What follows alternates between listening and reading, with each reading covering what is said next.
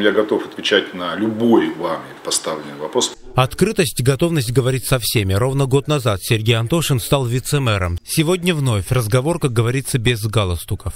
Для меня это, честно, вот, честно, откровенно говорю, большой-большой опыт работы в органах исполнительной власти в современных условиях.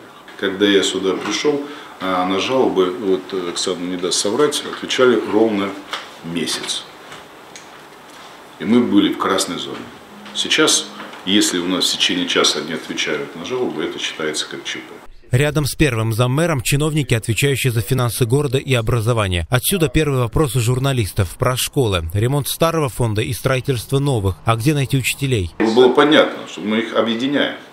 Э, например, самое близкое – это здатель школы на Флотской. Э, лицей 2, который одно из лучших учреждений в городе и в области, у нас находится в Бежецком районе, конечно, не имеет помещений, чтобы обучать тысячи полторы, обучать 900 человек, как бы.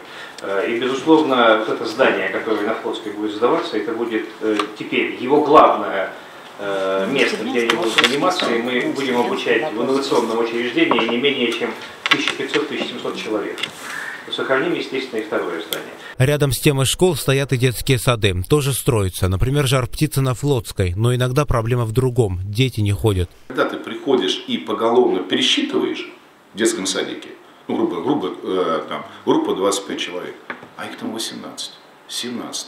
И ты когда начинаешь с воспитательницей говорить, они столько и приходят.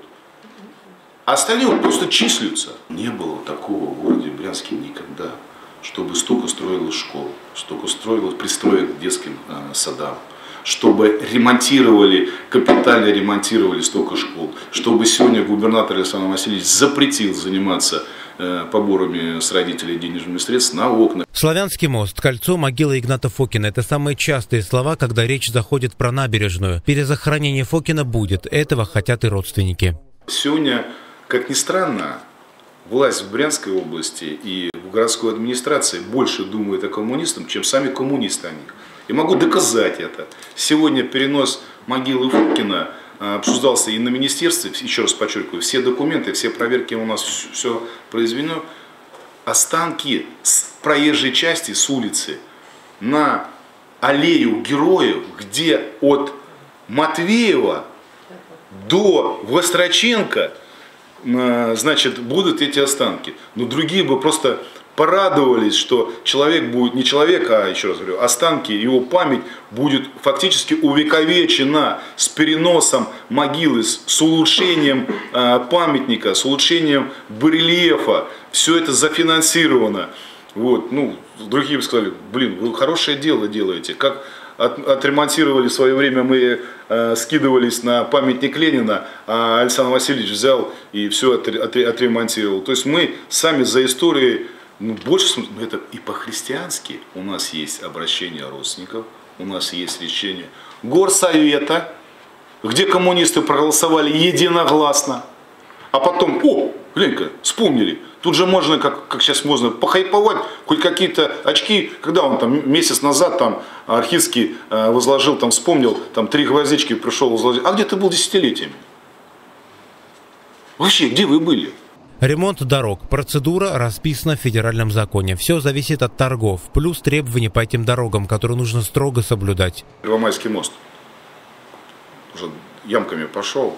Он, да он же гарантийный. Я говорю, да нет, не гарантийный. Ну просто время уже столько улетело, как и проспект Московский. Тоже я думал, только ж ремонтировали. Я сам еще поддавался на это.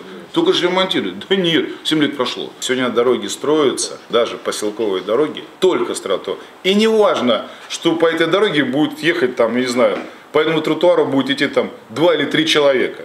Каждому каждому дому надо сделать съезд. Это сегодня такие правила. Мы понимаем, что некоторые дороги, которые, например, поселковые дороги, там не нужен тротуар. Это большое-большое удорожание. Мы могли бы еще где-то эти дороги сделать, в том числе на, в городе Брянске. Общественный транспорт в Брянске обновлен, аэропорты ремонтируют. По программе формирования комфортной городской среды благоустраивают парки, скверы и дворы. В планах развития набережной. Сергей Антошин общался с журналистами два с половиной часа. Итоги сделанного в городе за последние полгода можно увидеть в оценке федерального уровня. Индекс качества жизни в российских городах. Брянск на 19 месте. Мы опередили такие крупные города, как Новосибирск, Казань, Нижний Новгород, Ростов-на-Дону, Краснодар. Армен Мрукян, Сергей Дюков, Брянск.